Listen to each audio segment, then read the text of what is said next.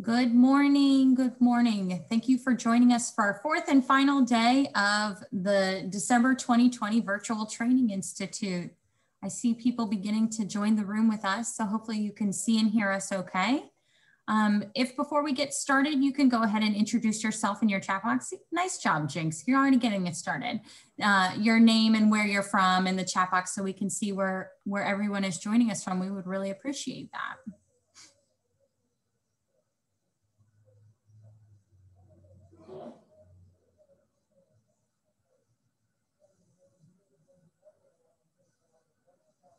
All right, all over the place. It was really interesting. Monday morning, I had a session and somebody said, hello from Singapore. And I nearly choked on my coffee because I'm like, how the heck did you hear about us? That's wonderful.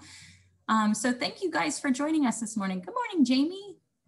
Um, so before we get started, also, I'm gonna go ahead and put a poll up so we can see what your role is within your program. Um, if you can go ahead and also click one option um, after you're done putting where you're from in the chat box.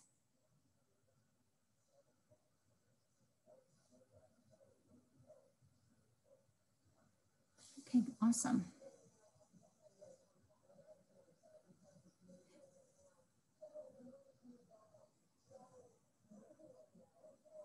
Seeing a lot of repeat names, so welcome back.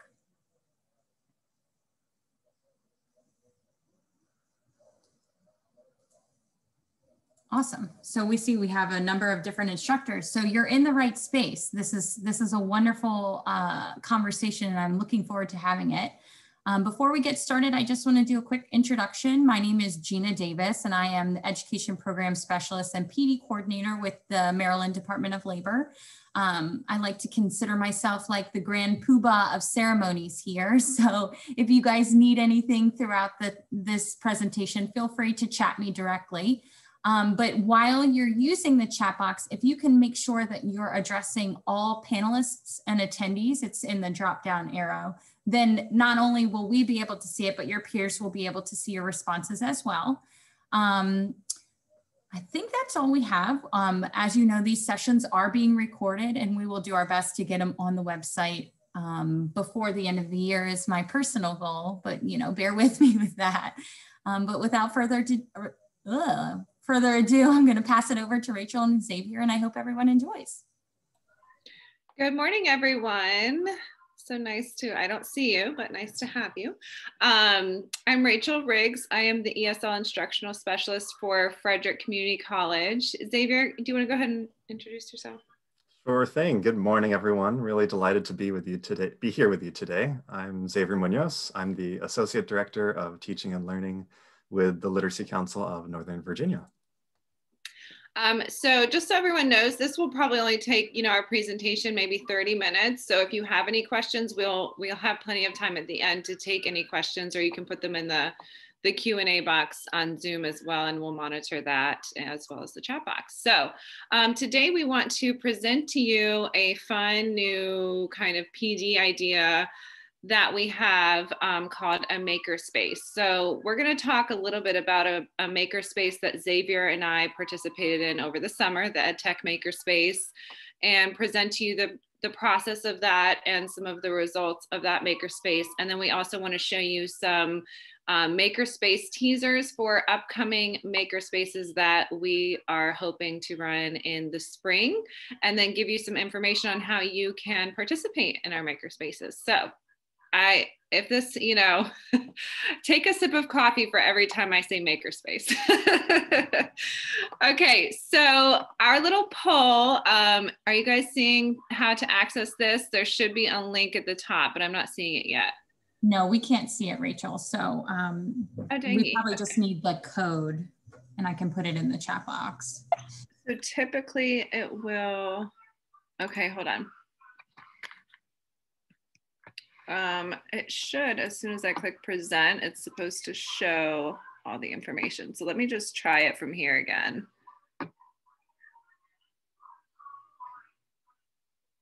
Oh, it's not working. Okay. That's okay, good. Okay, there it is. Okay, so go to, um, oh no, now, now it's gone. Oh my goodness.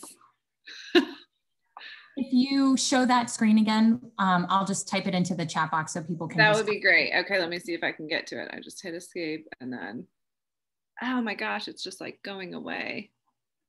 Okay, you guys, whatever. Let's just put it in in the chat box. We don't need to get too fancy, right? Um, what word comes to mind when you hear the term makerspace? So I just want to kind of see what do we all think about um, when we're talking about makerspace. So if you guys want to just throw it in the chat box, that would be great. What word comes to mind when you hear the term makerspace? Oh, there it goes. Now it's going to work, of course. So you can also go to this link here at the top, pollev.com slash Rachel Riggs 893, or you can text your answer as well. Thank you, Jeana. It's also in the link is in the chat box.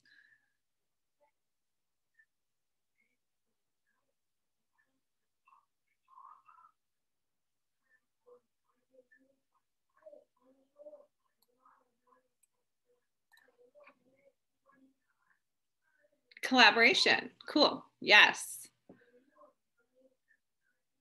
If that's the only word I get, I'll be happy. Creativity. Oh, I like that one too, though.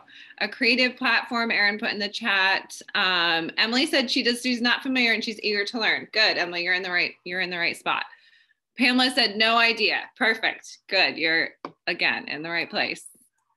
Unsure. Okay, good. We're going to talk about it.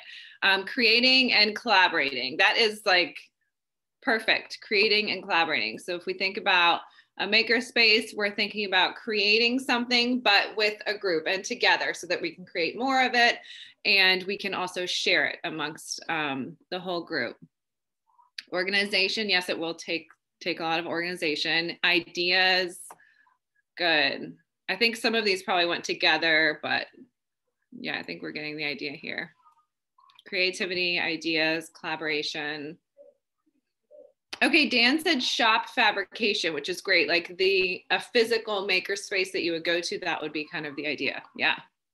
Anne says a place to create and collaborate on projects. Jeff says working with colleagues. Okay, awesome. So yeah, creation and collaboration. I think those are two words that really sum it up quite well asynchronously collaborative. We have synchronously and asynchronously. Yes could be synchronous could be asynchronous. Absolutely. All right thanks guys. Thanks for sharing. Okay so the definition of a makerspace. Sorry we got lots of tabs here. You guys know what it's like navigating all your different windows on zoom right? The definition of a makerspace is a place in which people with shared interests, especially in computing or technology, can gather to work on projects while sharing ideas, equipment, and knowledge. And so, if you've heard of maker spaces like in your community, maybe associated with like a library or a community college or something, um, they are kind of like shops, like someone put in the chat, where where people are. Um, working on a, a, project together. And so that's a very similar idea to what Xavier and I are wanting to launch in the spring. A makerspace where a bunch of teachers are coming together, of course, not physically, it will be virtually, um, but we're getting together and we are learning how to use new tools and then creating resources with those new tools. So just like kind of in a um, you know in a trade or something so just to kind of paint a picture in your mind if you want to close your eyes, no, you know, just kidding.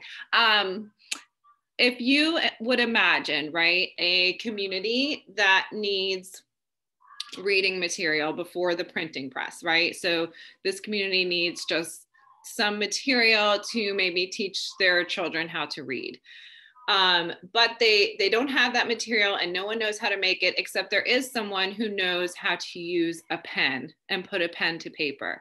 So that person gets a group together and says you know what? I'm going to teach you how to use this pen so that we can create the resources that our community needs. So that is what a makerspace is all about. It's about filling a need where we where we need some kind of resource. Now in this context of course we're talking about um, a teaching resource and getting people together, showing them how to use different tools, and then creating the resources together. So that creativity and that collaboration is, is totally on point. So Xavier and I, the way that we got connected is we both participated in an EdTech makerspace over the summer. Um, this was run by CrowdEd Learning, if you're familiar. And the idea behind the EdTech makerspace was to take these supplemental um, reading well, they're called reading supplements. And so there were all of these reading passages on a website called Reading Skills for Today's Adults. You're probably familiar with it. And they had these supplements that were all in Word documents. So when people, you know, now during the pandemic are going to their website and trying to use their reading passages, using the supplement was really not that easy because, you know, you might have students who don't have um, who aren't on computers to be able to, to type answers and to manipulate a Word document. And it just wasn't the best um, digital tool for the supplements. And so the whole point of the EdTech Makerspace was to take these supplements and convert them into something that was mobile friendly and also just a little more um, friendly in the digital and remote space that we find ourselves in. So what we did was we took um, we took the vocabulary sets from the supplement and we were trained how to use Quizlet and create our own Quizlet sets. And so every participant, I think there were like 40 or 50 participants in the makerspace. Every participant made a certain number of Quizlet sets that went along with the reading passages on that website. We also were trained in how to use Google Forms and so we converted the comprehension check section of that Word document supplement into a Google form. Okay, so you can kind of see it's just, we're just taking that Word document, we've got some vocabulary words and definitions, and we're putting it in, in a format that's easier for students to access and easier for teachers to implement in a remote learning environment. So we use Google Forms to create comprehension checks, and then we put them all into Wakelets so that students could use a single link to access the reading passage, the vocabulary practice Quizlet set, and the comprehension check on Google Forms. So in the EdTech Makerspace, we were taking something that was already there, right? It was already a resource that was ready to go, and we were converting it into a um, into something more mobile friendly, more digital tech friendly. Um, but then along the way, we were also learning how to use Quizlet, Google Forms, and Wakelet. And I learned so much from that. And so now at the end of it, we have all of the participants who now feel a lot more comfortable with these ed tech tools. And then we also have a huge set of, of resources for teachers who need mobile friendly reading materials um, to incorporate in their classes and students who want to study on their own. So the final product of the EdTech Makerspace um, was uh, the, you know, I'm gonna go to the link to show you guys actually, because that will be fun. Um, the Marshall Leveled Reading Program. And so on this website, you could download an app that has all of the reading materials that we adapted. Um, there is a leveled library that instructors can explore um, to find the reading passages by level. And then there's also a spreadsheet where instructors can use like the links from the Google Forms. So if they wanted to see their own students' responses, we have the copy links there that instructors can use. So there's just a whole now a nice and ready to go set of resources for instructors. Um, and here's the leveled Wakelet library. So this is all in CrowdEd Learning. I'm gonna pop this um, link into the chat box just so you guys can explore that if you are interested just in the resource. Um, oops, sorry. Let me get back here. So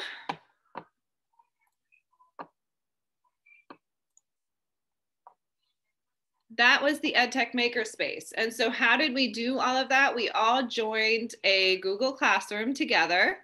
Um, we attended tool training. So we were trained in how to use um, Google Forms, Quizlet, and Wakelet. Those were the three trainings that we had to attend. There were open office hours, so we could go, you know, if we were having trouble creating one of the resources, we could go and ask questions. Um, so that was kind of the learning piece. And then in the actual creation, we were given guides to show us exactly how to um, create the, the final product and given certain specifications for how CrowdEd Learning wanted them to come out at the end. Um, we had a timeline, so we were all following a schedule where first we did the Quizlet sets, and then that was a couple weeks, and then next we did the Google Forms, and then finally we put it all together in the Wakelet. And then there was a review process. So um, Xavier and I and a couple other participants went through all of the um, final resources and reviewed them and made sure you know there weren't any small issues or, or whatever. Um, so it was, you know, a process of learning, learning to use the tools, and then creating resources that are ready to go and look nice and teachers can use them. And all of it took place in a Google Classroom. So that was the EdTech Makerspace. And that's kind of what we are modeling our makerspaces after. Um, so I am actually going to hand it over to Xavier now, who is going to present a little teaser for what we might do in our TESOL makerspace. Um, we are hoping to launch the TESOL makerspace in spring of 2021 in March. And we will, at the end of this presentation, be sharing a Google form for anyone who may be interested to express their interest so that you can be put onto an email list and get updates and notifications about the TESOL makerspace. Um, and then eventually, after you've expressed your interest and we've given you your you know choices of how you want to participate, we will invite everyone to Google Classroom where we will then run the makerspace and create new resources and learn together and have fun. Um, so let me check on, does look like there's a question here. Um, and I'm gonna go ahead and hand it over to Xavier. Thanks very much, Rachel. Um, I completely agree with, with her that it was a really exciting way to learn new tools and do it in a very structured kind of format where we were really guided in creating these resources, but also learning about Creative Commons licenses and how to include appropriate attribution, um, which, you know, in our field is the more we can credit each other, the better, right? Um, so now I wanted to share a, uh, my screen and then we're gonna take a look at just a teaser of what uh, you might create if you sign up, um, if you express interest in joining us for our makerspace. Um, so this one is just a sample. You know, we're hoping to run a few different ones um, in partnership, in part with Maryland TESOL. Uh, but this one, for me, has a particular relevance using these some literacy level reading resources, which I'll show, show in just a moment. Um, but to paint the picture, you know, where I work, we have some paid teachers, but a lot of volunteer teachers and class aides. And we are all of our classes are virtual, but you know, we have students who are uh, LESLLA learners or emergent readers who are, are, learning to read in any language for the first time in classes with those who have college degrees and, and higher level credentials. Um, and I don't know about you, but for a lot of our teachers, they're very overwhelmed with learning to teach online and having to take what were print-based materials and make them work in a virtual space. So for me, that challenge is, is ever present of how can I help create things or work with hopefully a, a makerspace team to make stuff that, that's ready to go, that's informed by uh, effective practices for teaching adult learners, especially those at a literacy level. So uh, let me switch here.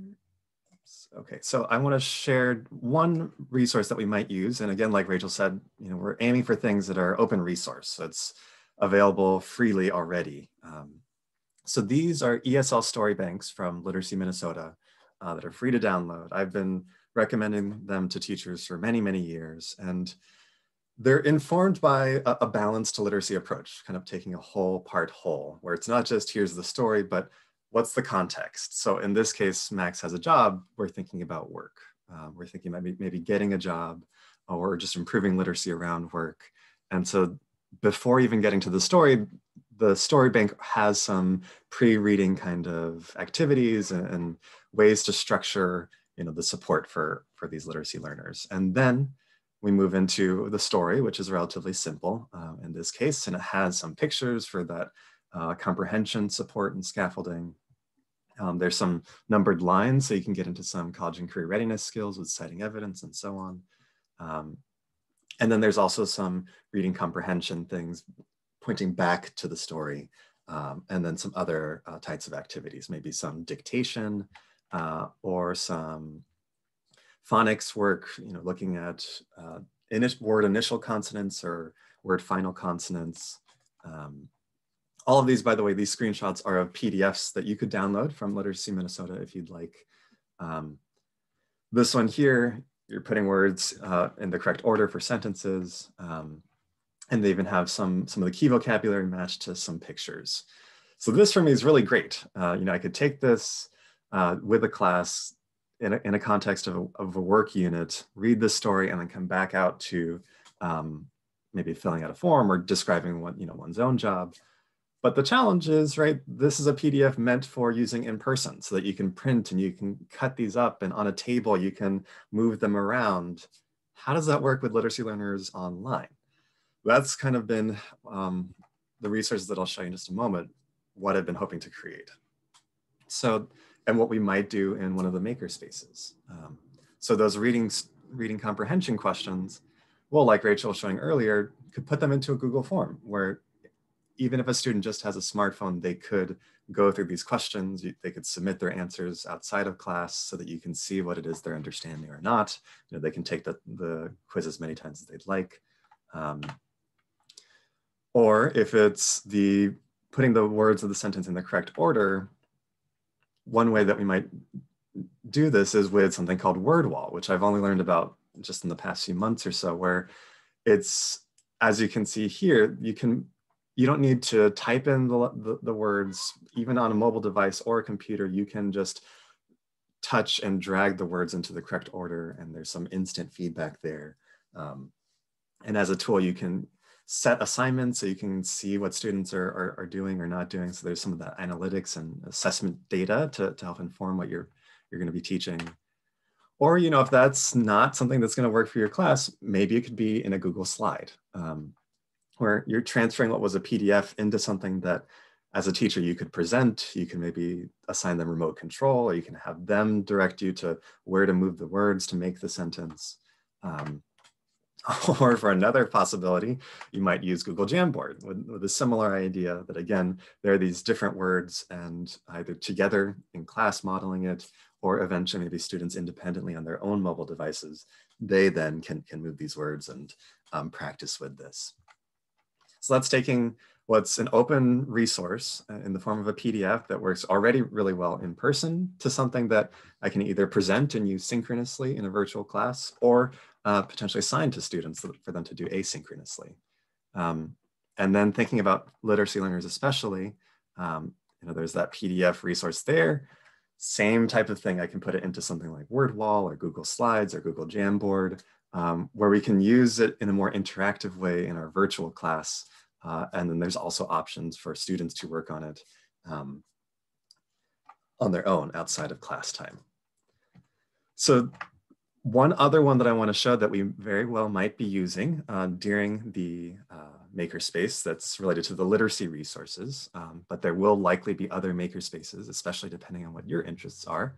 Um, the other resource to show is also about pronunciation and even spelling to some extent. Um, so I'm curious I get this set up here. Who is familiar with, who's familiar with the color vowel chart? Have you used the color vowel chart? Have you been trained in the color vowel chart? you want to go into the chat and just put a, a yes or no um, to let us know if this is something that you're already somewhat familiar with.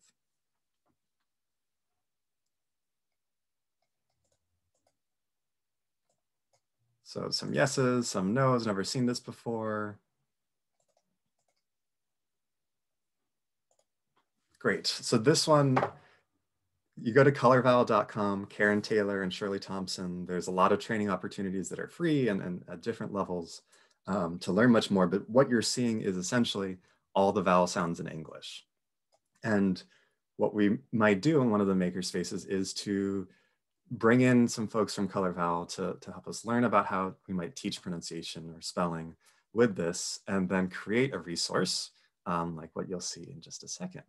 Um, so since this may be the first time for many of you, I'll kind of preview what sort of a little bit about what the, the color vowel chart gets into and how we might use it with our literacy learners. Um, so just looking at these right here, we have purple shirt, we have white tie, and a cup of mustard. So if we isolate, and I'm, I'm doing the teacher talk here, this isn't how I would do it with the class, but we have purple shirt, er, that er vowel sound, or white tie, I, and a cup of mustard, ah. So we can think of some words that would have uh, these sounds. So white tie, there might be acquire, there might be um, final, imply, uh, licenses, minor, prior, nine, and many, many others. Um, or with a cup of mustard, we might have, let's see, construction, function, subsequent, uh, government, and so on, or even just one, right? So taking this idea that we can get students in a more brain-friendly way to uh, better understand the sounds of English and to build an intuition for the spelling in English, we can then transfer that into something like this that we might create as part of the makerspace um, using this color vowel organizer um, that's, that has a Creative Commons license on it and taking words from that story, the Max has a job story, and seeing which words might fit into um, some of these, these color vowel categories. So taking an example here, if we're looking at Thursday, right? Thursday, how many syllables? Two syllables. Which syllable has the stress? Thur Thursday. And what do you think? Put in the chat. Is it white tie Thursday? Is it purple shirt Thursday? Or a cup of mustard Thursday? What's the color vowel in Thursday?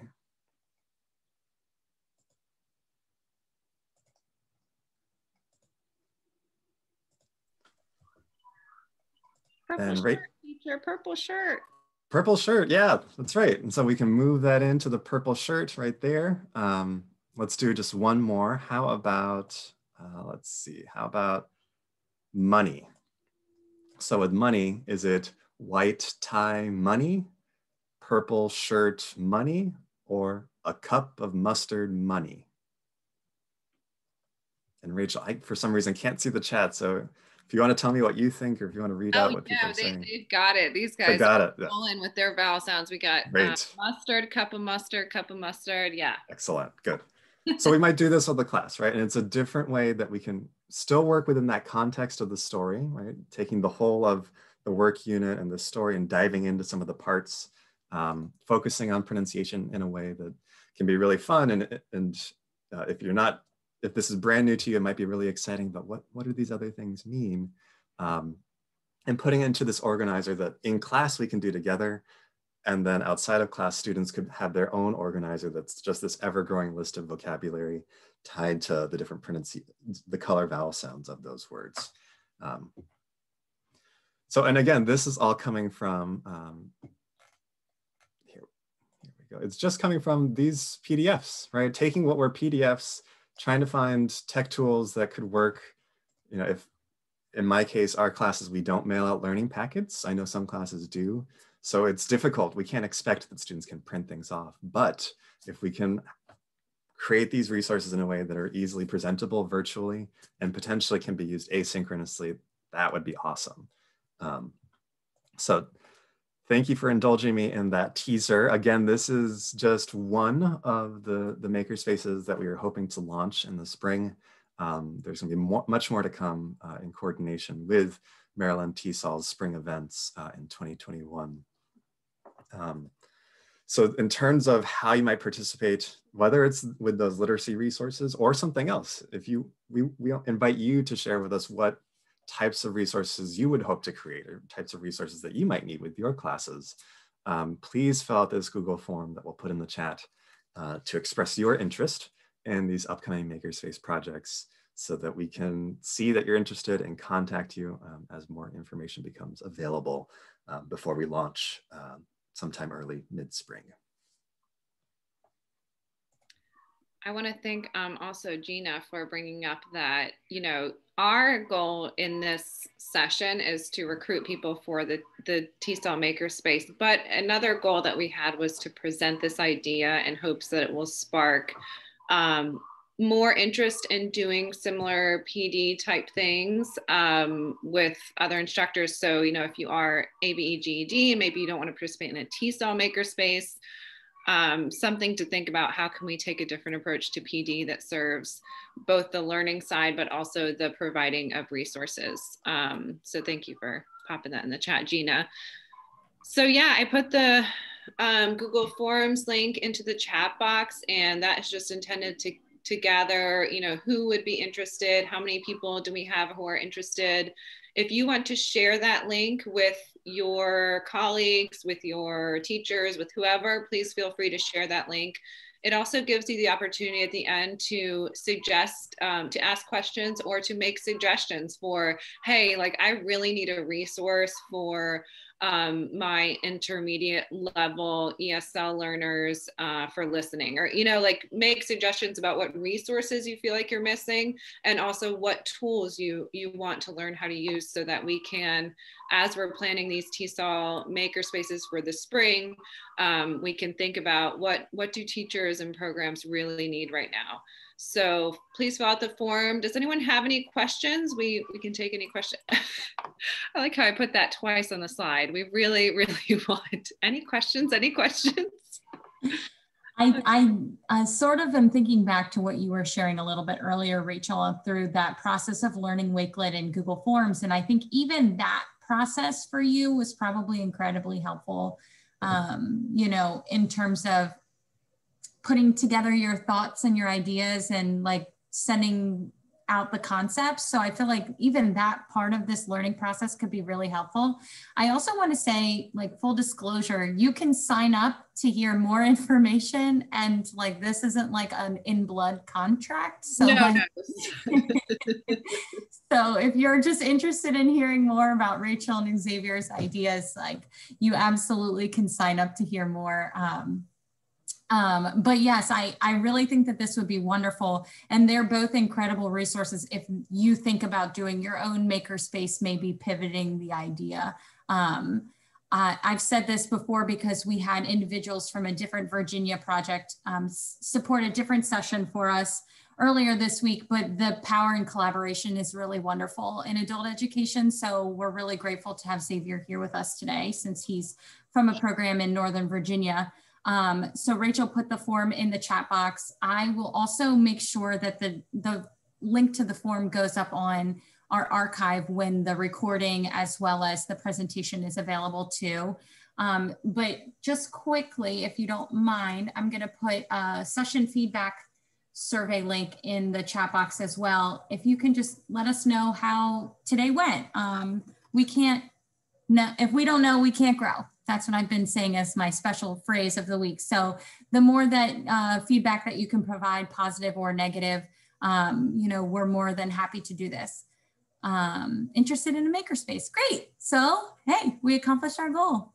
Um, but anyways, thank you guys so much for um, participating in this morning's session. Um, we certainly hope that you learned something or even sparked interest in participating.